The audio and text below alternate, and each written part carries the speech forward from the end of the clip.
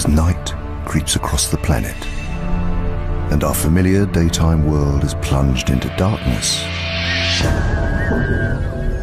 strange creatures are beginning to stir. This is when most animals are active. The drama of their nocturnal lives hidden from our eyes.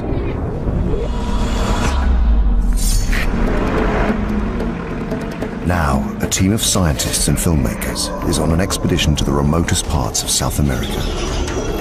Whoa, whoa, whoa. What is that? Armed with specialist technology, they will attempt to discover the secrets of the night. Holy. I'm getting it, I'm getting it. She's hunting. It's a journey into the unknown. I shouldn't really be out here alone. A world where we are blind. Please, don't leave me up here. I don't know what that is. Technology will reveal it as never before. Now, right now is the most dangerous time to be out here. He will attack you. The mysteries of life in the dark. Don't run.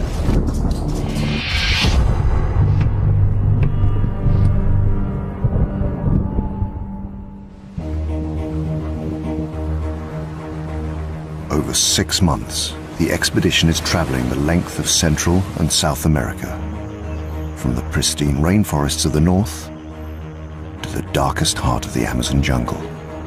They've been using their new technology to illuminate a world hidden from human eyes.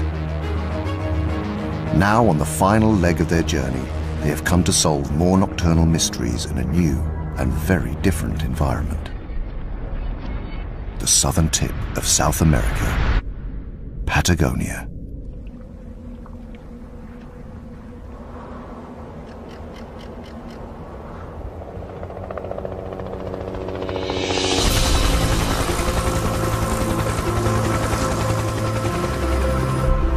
Bryson, Bryson, we're going to head off now. We're going to check out another ridge line. All right, we're going to take the other road and loop back around. that makes sense because we're going to carry on in this direction.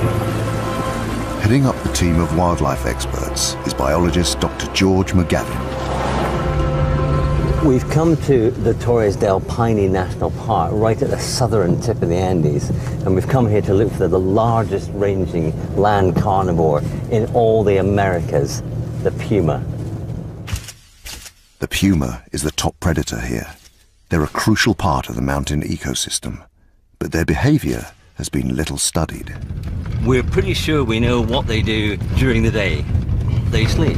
But what a puma does after dark is a black book. There is a higher concentration of pumas here than anywhere else on Earth. The team will use their specialist cameras to build a more complete picture of their lives. They've never been filmed hunting after dark, ever. If we can do that, that will be the holy grail of puma ecology. Their first challenge is to find a puma. That means splitting up and searching by day for possible lairs. Three miles from George, nighttime camera specialist Justine Evans scans from the air. So it's huge, huge area. And there's a series of ridges and valleys, lots of lakes, endless little rocky outcrops where pumas could hide away. Justine is guiding a third team member, biologist Bryson Voirin, the expedition's tracker. You know, the most difficult thing about this place is actually finding a puma. It's like looking for a needle in a haystack, except this needle is moving around. Bryson has spent years studying nocturnal mammals. If he can identify where pumas are hunting, then Justine can return at night to film them. Be careful in there. You don't want to corner a puma or scare it. Justine, I'm seeing lots and lots of game trails here, so it seems like there's a lot of activity with animals. By working in different areas, the team hope to maximize their chances of finding a puma. I'm just looking for any, anything I can see tracks or signs, bits of remains of animals, anything that will hand us a clue.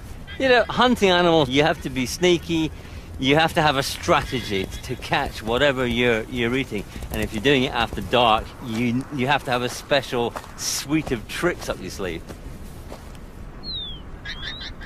Here, the puma's meal of choice is guanaco, an ancient cousin of the llama.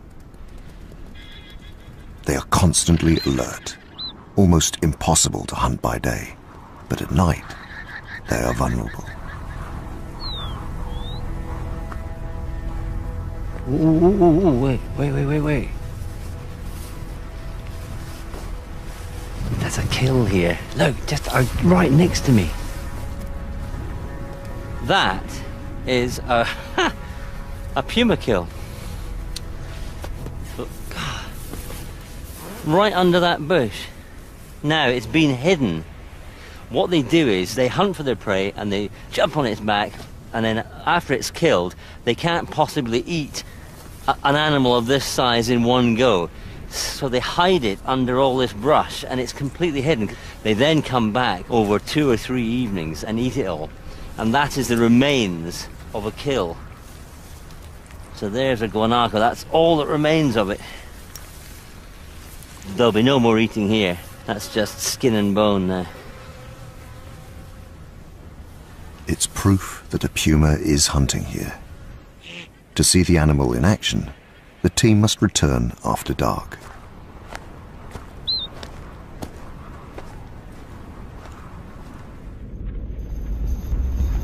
Three hundred miles south in the Magellan Strait, a second part of the expedition is underway.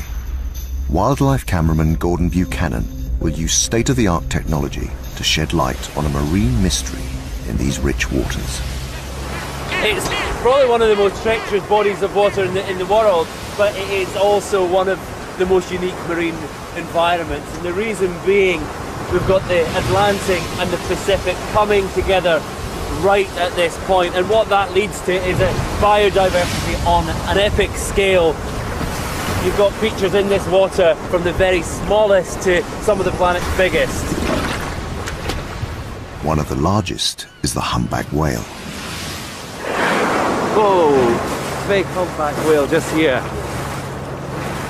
Spectacular. And there's more, just here, maybe 300 meters away. Most humpback whales pass quickly through the Magellan Strait. This group chooses to stay here for three months of every year. So little is known about what takes place during the day under the surface of the water, and absolutely nothing is known really about what takes place at night time. Gordon hopes to solve a puzzle that has mystified the scientists that study these whales. They can hear them coming close to shore at night, but can't see what they're doing. Gosh, look at that. Gordon's specialist equipment could give them the answer. We have an arsenal of cameras for filming at night time. We've got thermal imaging cameras, we've got infrared, we've got low light cameras. Pretty much nothing can take place at night time without, without us being able to film it in, in some way. Using this technology to film whales at night will be a first and could open up a whole new world. So it'd be good to get into the water and find out what those humpbacks are doing at night, if they are doing anything. And that's why we're here, to get out there and just try and answer some questions. Whoa, whoa, whoa, whoa. Unbelievable.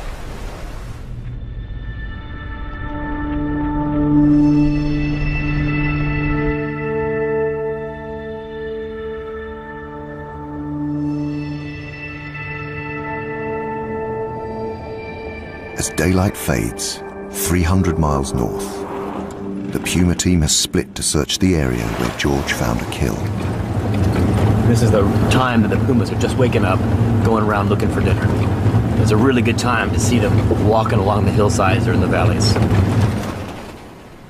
Tonight, we've got all three teams out in separate vehicles and driving all the tracks. We're just throwing everything at it tonight, getting everyone out there. It's a large area. We need to spread out as far as we can and to, to use a variety of strategies if we're to see anything good.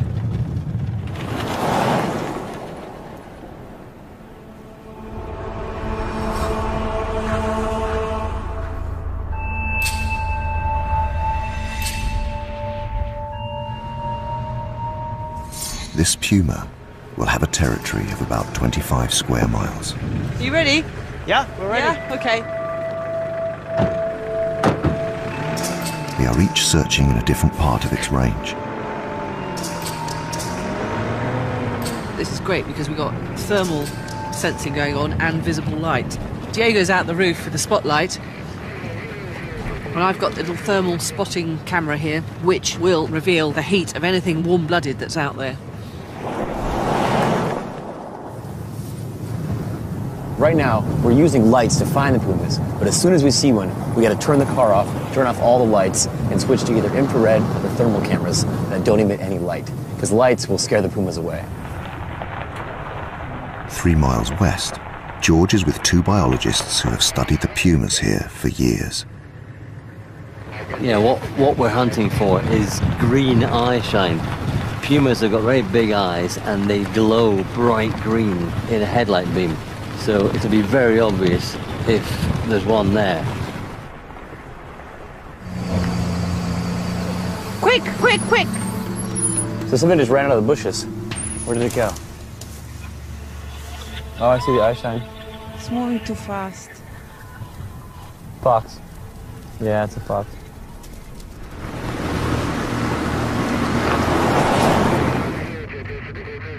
While Bryson and Justine continue their search, George leaves the safety of his vehicle to check out a ridge above the road with a military spotting scope. There's definitely, definitely eye shine over there. It was just by that rock. Right there.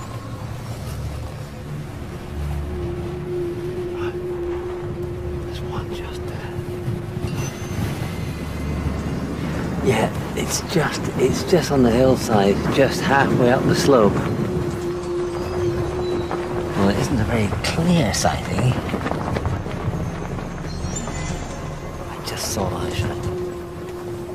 It didn't look very green. It looked greenish, but it definitely wasn't a guanaco eye shine, and it was just over there. If it is a puma, then I'm right on the top of this ridge. I mean, it's obvious he'll he'll go.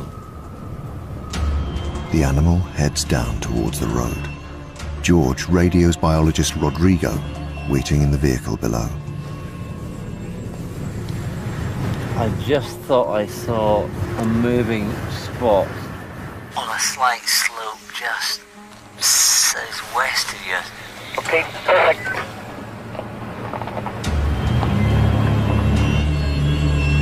Now Rodrigo must try to intercept the animal as it crosses the road. Stop, stop, stop. Uh, did you see something? The binoculars? Yeah, it's a puma, Christina. Absolutely 100% puma. Okay. This is great for, for filming. Uh, uh, give me the radio. Rodrigo calls in Justine, who is two miles away searching on a different mountain track. Rodrigo, how you getting on, over? Oh, yeah, we just spotted puma. Quick, it's just here. Perfect. Okay, we're on our way. Let's uh, go. Let's um, let's move on. Great news. The challenge now is to stick close to the puma. With luck, Justine will get there in time to film its behavior at night.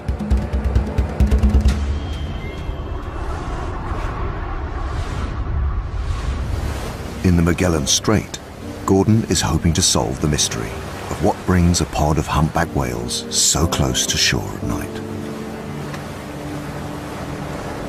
There's so much about these animals that we don't know, so much about them that we'll never know. And the reason is because most of the things they do are done in complete darkness. Gordon is relying on his thermal camera to see in total darkness. But there's no guarantee his technology will even detect the whales. This has never been attempted before. We're answering some questions, we're learning new stuff, and we're only able to do this because of the technology that we're using. This camera, it's a thermal camera, so it sees heat sources. Humpbacks are incredibly well insulated, they've got thick, thick layer of blubber, so it may well be that humpbacks actually don't give off a temperature signal. They might be the same temperature as, as the water, we just don't know. This is the first time anyone's ever tried to use this technology to find these animals. Within minutes, the camera begins to pick up unusual activity in the water.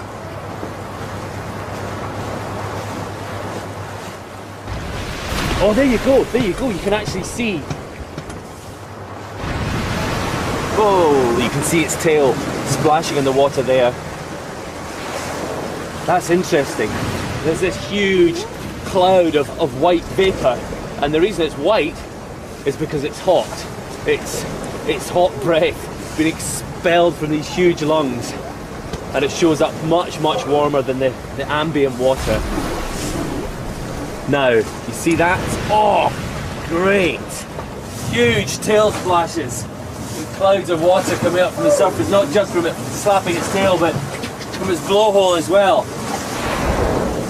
We come out looking for behaviour, and this is not at all what I expected to see. From this distance, Gordon can only speculate what the whales are doing.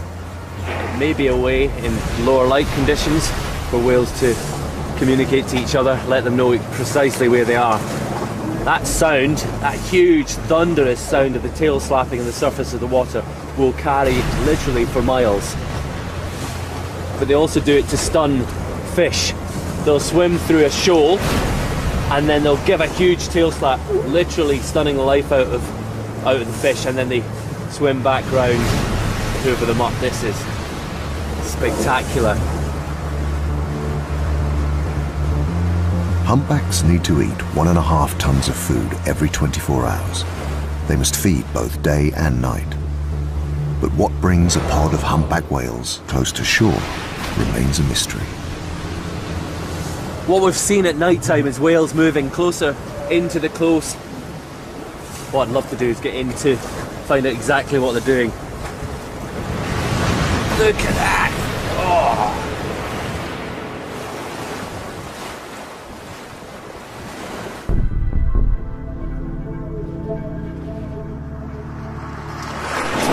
In Torres del Paine, the Puma team has found their cat. Now Justine wants to see just how it operates in the dark.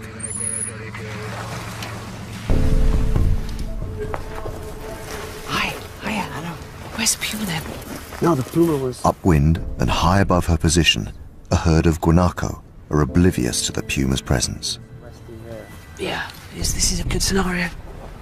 Got loads of guanacos over there.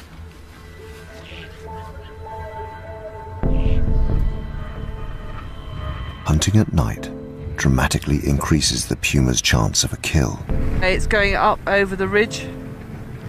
By day, it's almost impossible to get close enough to ambush prey as alert as these guanacos.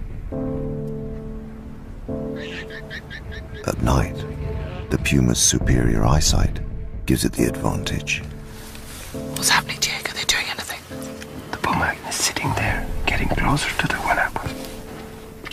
Justine fires up her thermal imaging camera, and the puma's heat signature is immediately revealed. Got it. I've got it. Can you see it? Well, it's trying to get closer. So, every minute, it's gonna be assessing the real chances that he has. I'm getting it. I'm getting it. Oh, this is fantastic. She's hunting.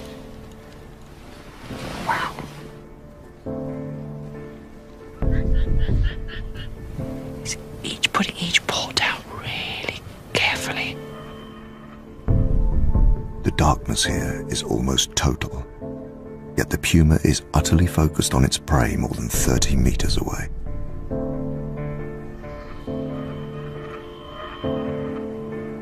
He's perfectly equipped to be hunting at night like this. He's got great sense of smell and hearing.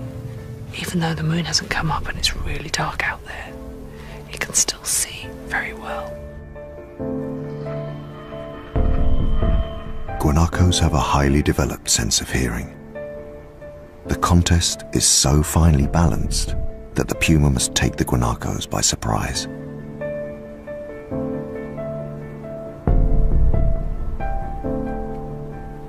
It's in full hunt mode.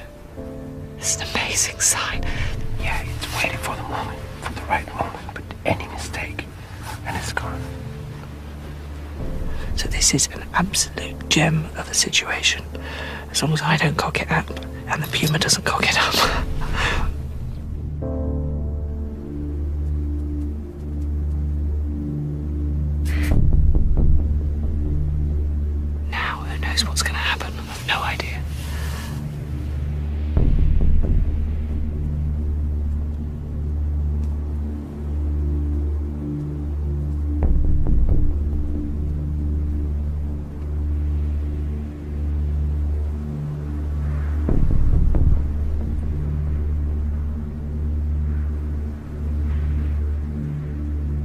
puma is about to make its move.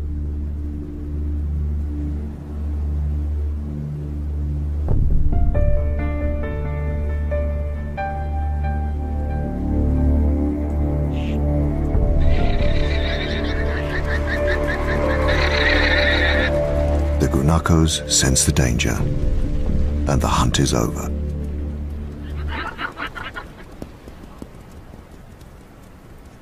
That was such a shame. He looked like he had got everything right. Then suddenly, bang, they were all going. It makes you realize just how hard it is for a puma to hunt.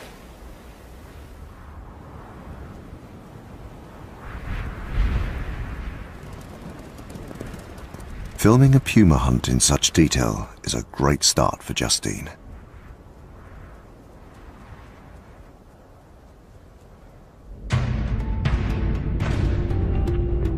George is traveling 2,000 miles north to solve another mystery. He's come to the Atacama Desert. Well, the Atacama, where we are now, is probably one of the most inhospitable and dry places on Earth. There are parts of the land here that have never had rain ever in recorded history. I mean, it's, it's that dry. Almost nothing can survive here. But one nocturnal mammal is thriving, and George wants to know why. I'm heading to this island, which is just a, a, short way off the coast, and it's believed to have a colony of vampire bats, and that, that is really what I want to see. And they're, they're only active and they only fly when it's totally dark.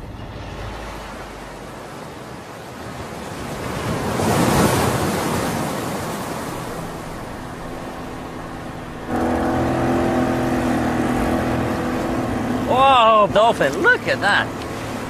Whoa. They're right under us. Vampire bats are one of the most iconic creatures of the night, and the colony here is truly mysterious. I want to find out what on earth a colony of vampire bats is feeding on on an island that uh, is seemingly has few other animals on it. And it looks pretty inhospitable, but clearly there's enough there for vampire bats to eat. To help him, he's calling upon the expertise of biologist Marcelo Flores and wildlife camerawoman Sophie Darlington. Everything is actually completely fine. We put everything in dry bags, so all the kit's protected.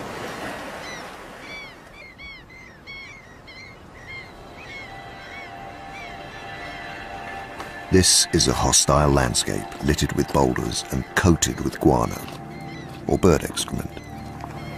I've never been anywhere like this before. It's the one thing, it's the overpowering stench, which is just everywhere. Looking around, it's sort of like you've landed on the moon a bit. It's really desolate, like a lunar landscape. It's incredibly bleak, really dry, really arid. George's first task is to find where the bats are roosting. They say that the cave with the vampires in it is actually on the coast, so it's really important that we find the cave as quickly as we can, because if we can't find it now, we won't find it in the dark. This looks very like the cave. Yeah. Great.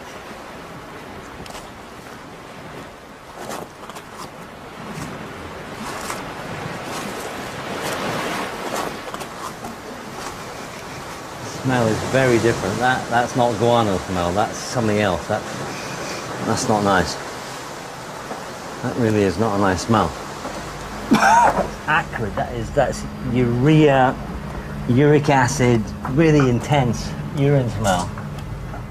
And the rocks are really slippy with bat droppings. That's just absolutely thick, running down the wall.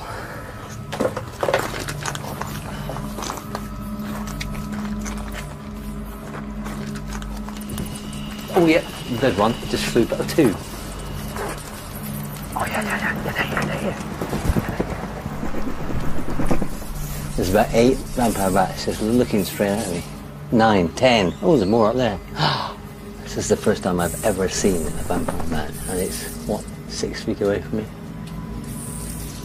That is amazing. Oh.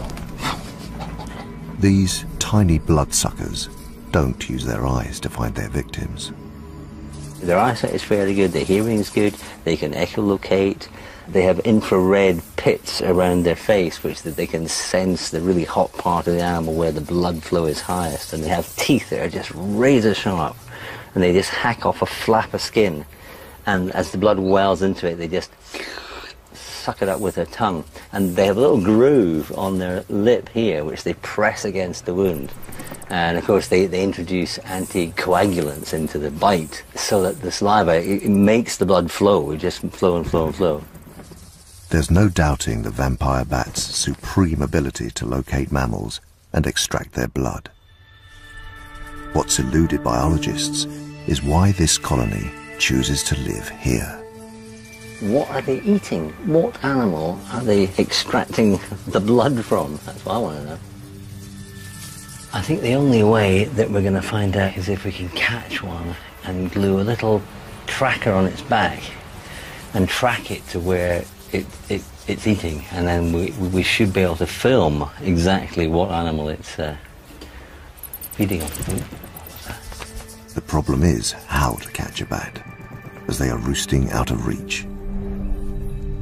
George must return at dusk to net one as it leaves the cave to feed.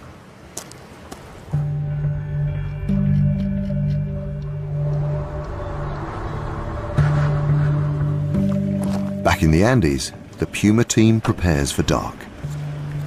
Okay, ready. Ready, ready. Rough, rough.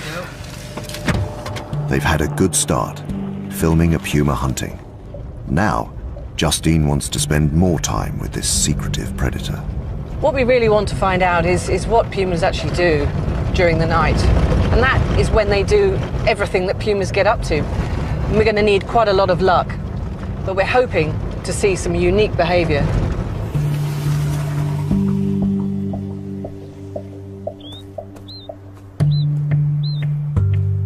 With dusk approaching, their plan is to spot a puma as it leaves its daytime lair and goes out to hunt. Bryson has already picked up a trail. Oh, look. Fresh tracks. Right here. There's another one right there. Look at that. Wow. That's a good one. Here's a nice paw print right here. It's big, but it's not huge. You know, a full grown adult would be a bit bigger, about the size of the middle of my hand. So it's a teenager. He's been walking right here. And that's a pretty good span between footprints. Yeah. He's pretty good size, though. He's not little.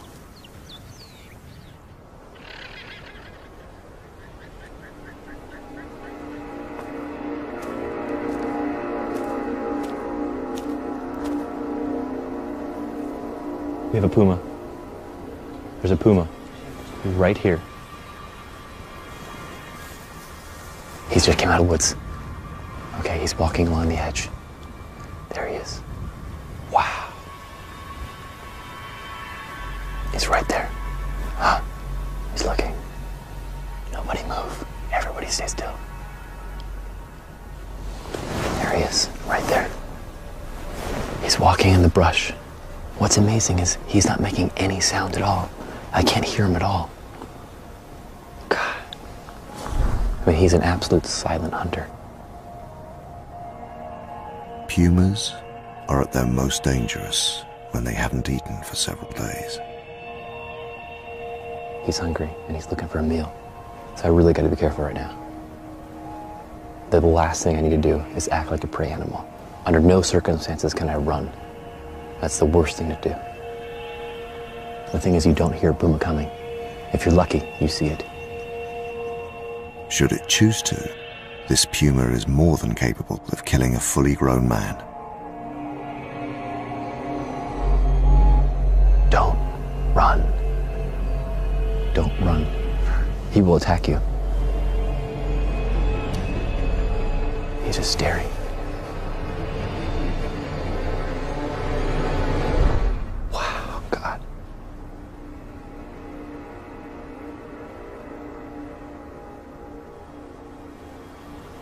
This is the top predator.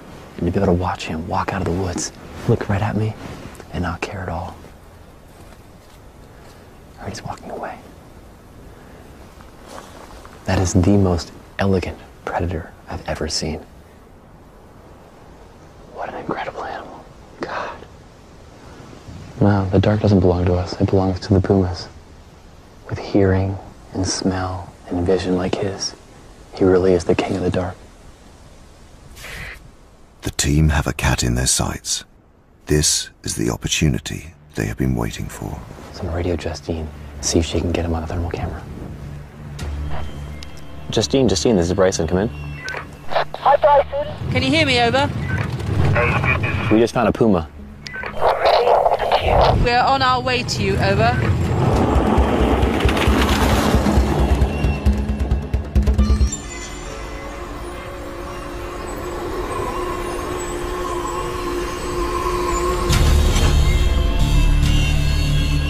Off the coast of the Atacama Desert, George and biologist Marcelo are heading back into the cave to catch and tag one of the vampire bats as it leaves the roost to feed.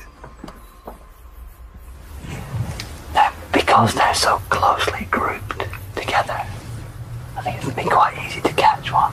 Because in the in the melee, as they fly off, one of them will surely go in the net.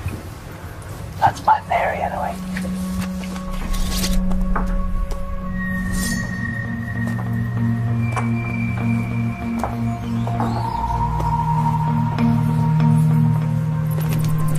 I took my head off that one.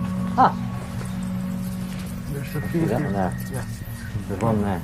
Yeah, and another one flew behind you.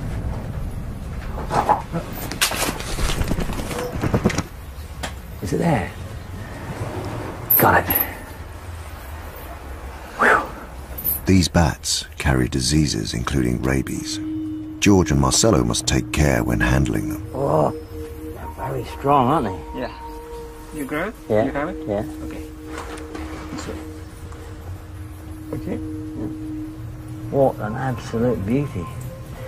Now, we'll glue it on the back, yeah? Back there. Mhm. The miniature radio transmitter is carefully glued onto the bat's back. Press it in, that's it, lovely. Okay, and that should be it. George must now track the bat across the island before the transmitter drops off. This wee chap is the one that hopefully will show us uh, where he and his mates are obtaining their, their evening meal and who from, which is the key thing. Is its transmitter working? That's very nice, isn't it? Yeah, very nice.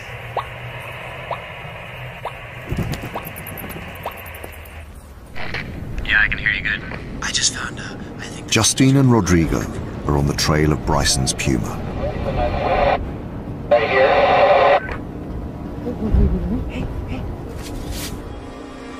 suddenly see something coming. What's the puma? Incredibly, the puma passes just meters in front of Rodrigo. I saw it. I saw it run across the road in front of you. Oh, that was extreme, actually. I'm, I'm nervous now. I'm trembling. It was really, really near.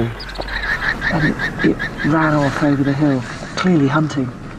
And uh, then I heard all the guanacos just alarming. You could hear them all just going. And uh, I can't, we can't see the puma now.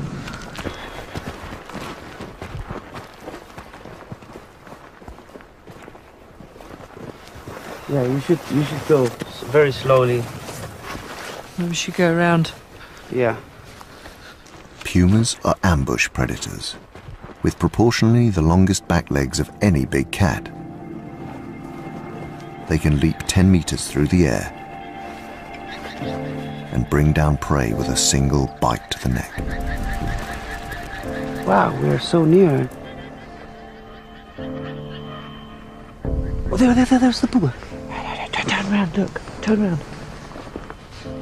I can see I, I saw I shine just then. Yeah?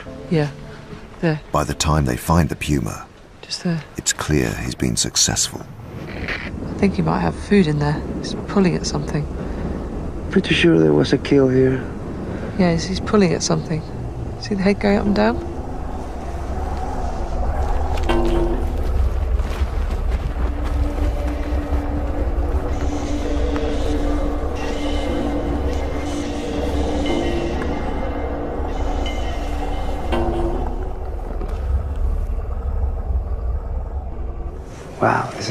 Is incredible, wonderful. This is just a this is a one-off, unique experience. It's absolutely amazing. We are right next to a puma on a kill, literally meters away, and we are so close. We can just hear him crunching the bones, pulling at the meat. He's just completely absorbed in feeding, not about us whatsoever. It's only been possible to capture these intimate moments of nocturnal behavior with Justine's specialist cameras. He's probably going for a snooze. Do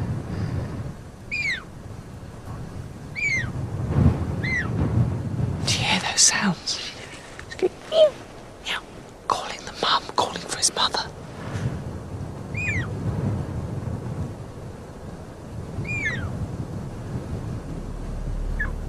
Which means we actually should really have a good look round because if the mother's turning up, we are in trouble.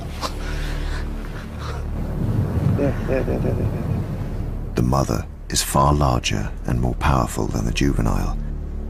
It's time for Justine and Rodrigo to leave.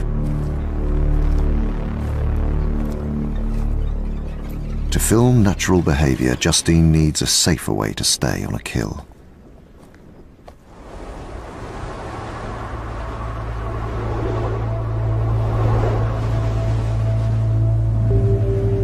Two thousand miles south, Gordon is making progress. He's tracked a humpback whale right into the coastline. We've got a whale right here in against the, the shore. Heard a whale blowing right here. Just switched off the engine. See if we can hear it. Might seem a strange place for a whale to be so close to shore. Gordon's hoping to discover why whales come into such shallow water, but his hopes are dashed. With a humpback so close to the boat, it's now too dangerous for him to get in. Going in with a 35 ton animal in there, it's a bit scary. It's dealing with a set of circumstances that it will never have seen before, and we just don't know how it's going to react, and we can't take that, that risk. Gordon will need to wait until the whale has moved off before getting into the water to discover what was attracting it. We should hear it blow if it's close. Can't see anything. I don't think there's anything out there. All right, let's do it. Finally, the decision to dive is made as the whale moves away from the shore. We're going to get into the, the water here. There was definitely a, a whale right in the place where we're intending to go. Uh, we think it's gone. They're an enormously powerful animal. If it comes back, I think we just have to get get out of the water. Happy for me to get in, Richard? Yeah, yeah, good to go. Here goes.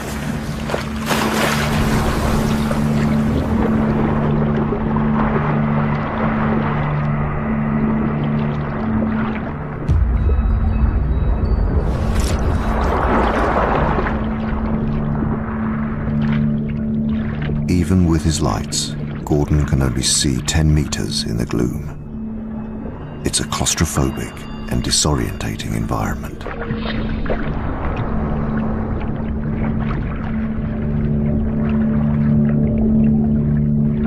Beneath the surface lies a thick maze of kelp, immensely strong strands of seaweed up to 30 meters long.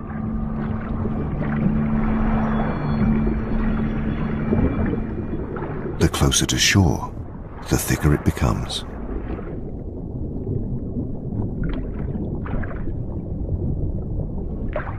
Whatever it is that's attracting the whales is hidden deep within this impenetrable forest.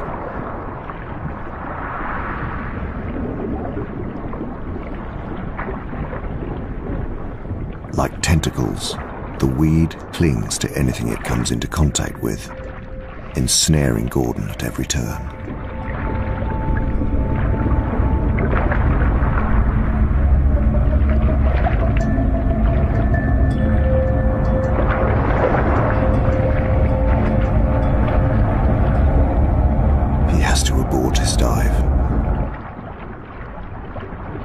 Is to solve the whale mystery, he must find another way. You know, I guessed when we got into the water at night time there was going to be some problems that, that we didn't foresee, and um, the big problem, the insurmountable problem, is this kelp. It's like uh, Sleeping Beauty's forest. You can't get through it. Uh, it's impossible. Uh, you just get tangled up in it. Yeah. Far from a result.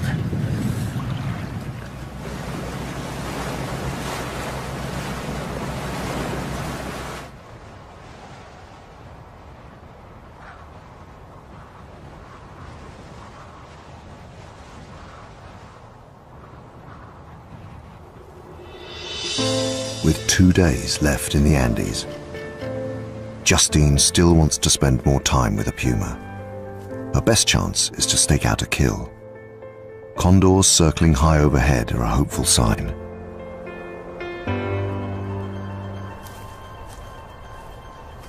We've been seeing lots of condors flying, circling just over the brow of this hill.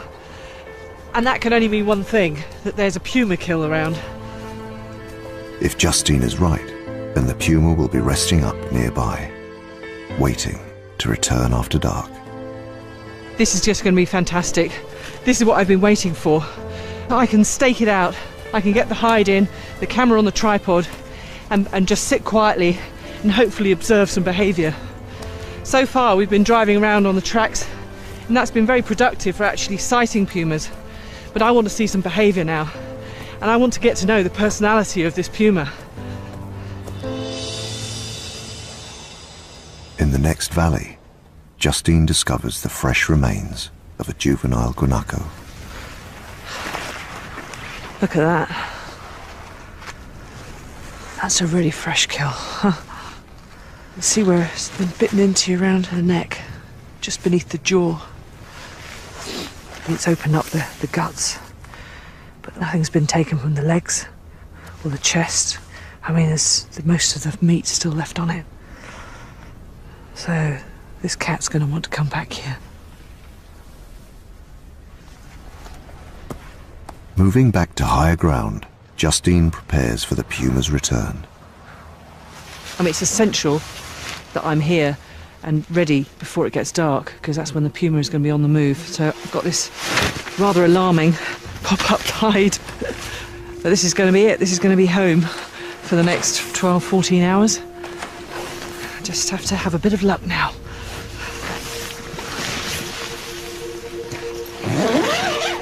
Justine has filmed big cats in the wild for over 20 years, but has only captured glimpses of pumas.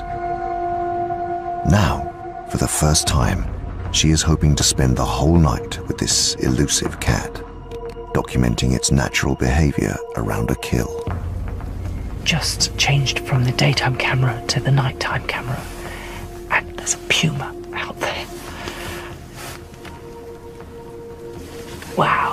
Right on the kill. Already. It just goes that goes to show, doesn't it, that the moment it started getting dark, there came the puma. Starting to feed. Excellent. I can see that he's a male. So strong in the way he's just pulling at that guanaco.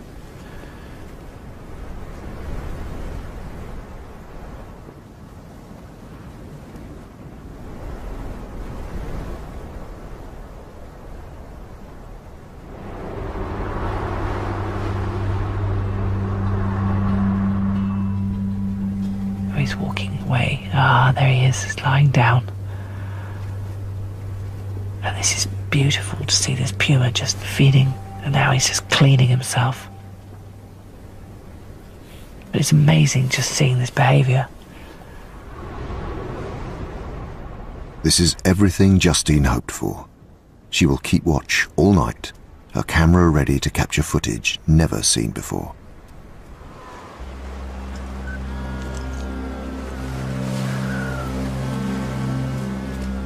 Back off the coast of the Atacama Desert, the vampire bats have left their roost to begin a night of feeding. It seemed to me that the bats, when they left the cave, turned left. So we're now heading along the island in that direction. So if, if my hunch is right, they should be over here. Using the VHF receiver, George and Marcello hope to track the bats to their victim. Got it. Oh, I heard something. Yeah. Yeah, there, there, there. Very faint. Marcello has identified the signal coming from George's tagged bat. At first it was very faint, but it, it's a lot stronger now. It's like beep, beep, beep. And as long as you follow the bleep, then you will, you will end up hopefully right at the bat. Following the signal for over a mile, George is getting closer to discovering where the bats are going to feed. And on what. That's very strong now. Sea lions, I can hear them. I can hear them, look. Here, here, here. We, we may be one step closer to solving the mystery. Sea lions are a perfect food source for vampire bats. Now, George must get close enough to the colony to see them in action.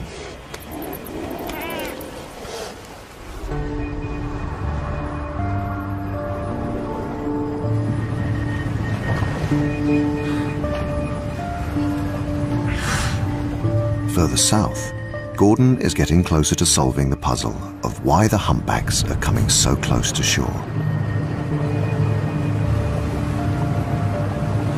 Thought I heard something back back that way. There's a humpback. Fairly close by, I can't see it yet, just heard it. Breathing. Right here, look, look, look, whale here. Oh, he sees his pectoral. He's going to come up again. Got a humpback whale just in front of us, less than 25 metres away. The whale is deep inside the kelp forest that entangled Gordon earlier. The camera reveals that despite the current, the whale is not moving. It can't be feeding. The kelp is too dense. But the whale has deliberately chosen to be here. And Gordon has a theory why.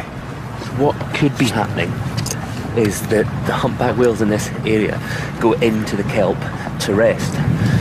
Imagine the effort constantly trying to deal with these currents. To, to save that effort, they go in towards the shore and wrap themselves up in the kelp. Humpbacks are active day and night, expending vast amounts of energy, so they need to sleep. But for all whales, sleep is a challenge. Humpback whales never truly sleep. They shut down one half of their brain at a time.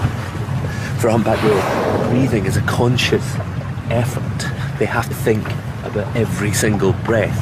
For us, it's an automatic response. You hear that big puff? That humpback is saying, I have to breathe now. So they can't afford to go to sleep entirely.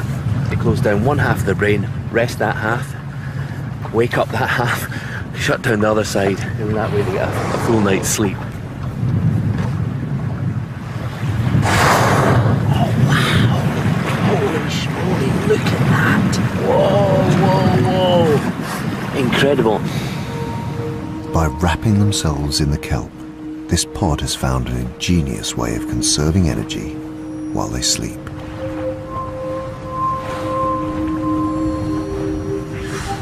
I think to be this close to a humpback whale takes your breath away. There are few animals on this planet that are as impressive as the humpback whale. Gordon's night vision camera has finally been able to reveal what these whales are doing so close to shore.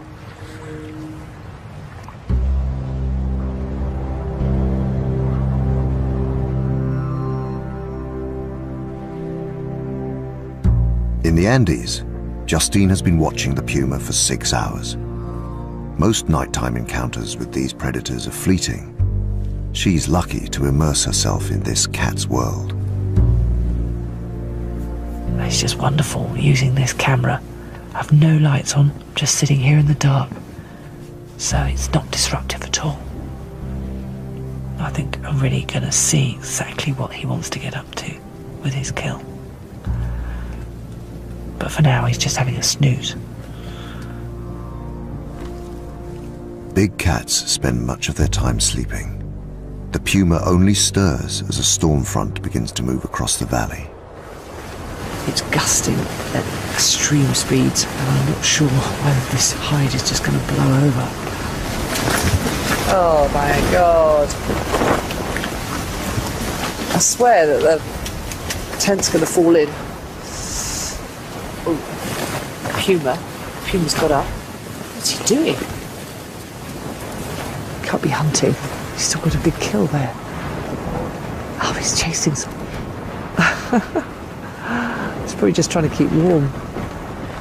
That's great.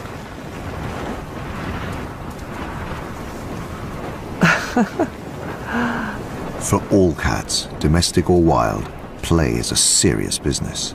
Strong winds and a clump of dry grass give the puma a chance to hone his hunting skills.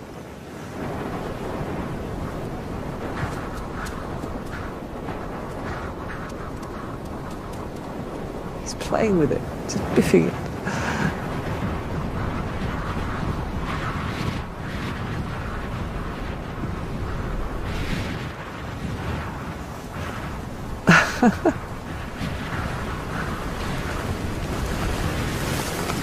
it's so funny. He looks like just looks like a domestic cat. It's like a secret little view on his life. I guess if he does this, sits here by the kill, just cleaning himself and sleeping, nothing else can come in. He's dominating it all night long.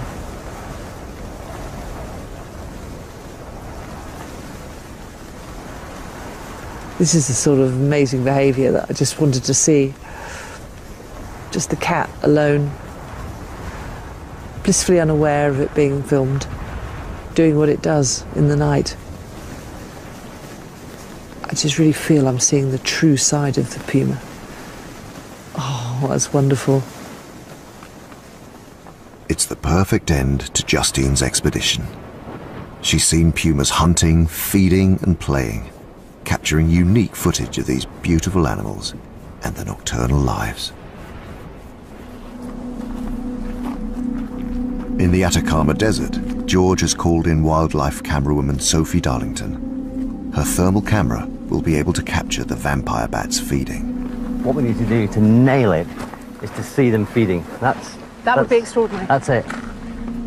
George has tracked them to a sea lion colony on the far side of the island. It could be a perfect source of blood for the bats. We're coming down here.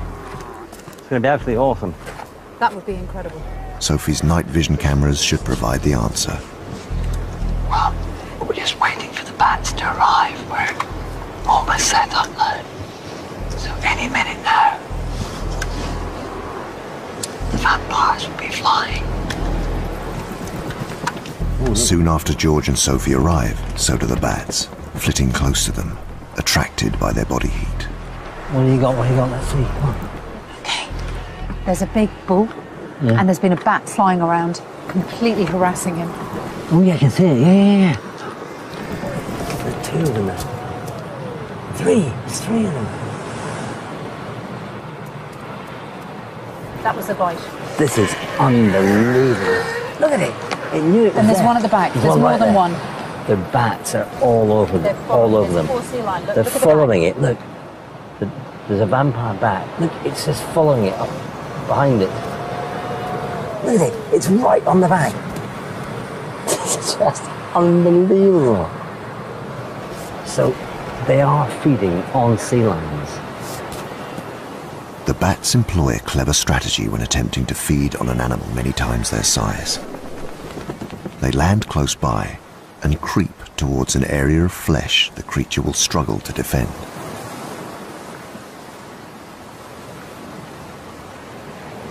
They're attacking from the rear, and the sea lions know they're there, and they keep turning, putting their head up. And as the sea lion moves, they, they just keep following it. And the poor sea lions are being harassed. I mean, they really are aware of them. Look the at him bats hopping, there. George. So, you know, it dispels the, the myth of the, you know, the, sort of animals having a quiet sleep at night. They're not. It's torment. It's absolute torment. They must be exhausted in the morning. These bats, they're completely and utterly just going for it. Ah. Oh, One's just been hit by that wave. I just can't believe what I'm seeing. Weighing 40 grams, each bat can consume half its own body weight of blood in a single feed, lasting up to 20 minutes. Is that a hot spot there? Is that is that the hot spot? That's where it's been. We can see the wound. Good grief! We can see the wound on the flipper. Only the thermal camera can reveal this extraordinary behavior. The bats are going into the rear end because that's where it's hottest, and you can really see that in a thermal camera. They're very, very bright, which means the blood's very close to the surface, so easy access for the bats and an easy meal, I'd reckon. To see the wound, the heat signature of the wound left by a vampire bat on the flipper of a sea lion in pitch darkness, that is just. That is truly awesome. It is the last of the team's mysteries solved. Now we know what's happening.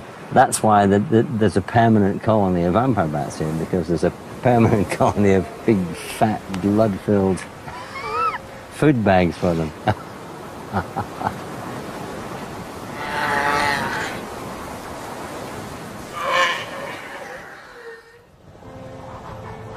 It's the end of an incredible six months. The team have pushed themselves to the limit to capture unique footage of South America's nocturnal wildlife. We've seen new species, we've seen behaviors that, that haven't been seen by anybody before. Yes! Got it! Look at that. Using cutting edge technology, they have uncovered natural behavior never seen before. That's fantastic. There's a whole night shift. Animals going about their business, doing things that we just never see. Wow, she's hunting. They have witnessed dramas unfolding in total darkness It's incredible. and started to unlock the secrets of a hidden and mysterious world. Daytime is is a practical desert when it comes to animal activity. And I suppose we're just beginning to scratch the surface with new technology to reveal a little bit of what goes on when it's dark.